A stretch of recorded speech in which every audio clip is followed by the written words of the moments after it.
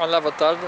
É para dizer uma boa tarde a todos, um princípio de uma boa noite e um fim de fim de semana para todos. Eh, Que Deus, que Deus abençoe grandemente e Deus te ama, Deus te ama por ti. Confia em Deus de todo o coração e não julgues os outros por confiar em Deus, porque acreditar em Deus é a melhor coisa que se pode ter. Quando você acontecer as coisas de Deus, você via que são, é a melhor, a melhor coisa que se pode ter. Quer dizer, um bom fim de semana a todos. Obrigado por serem meus amigos e minhas amigas do Facebook, os dois. E que Deus vos abençoe a todos. Obrigado. Bom fim de semana.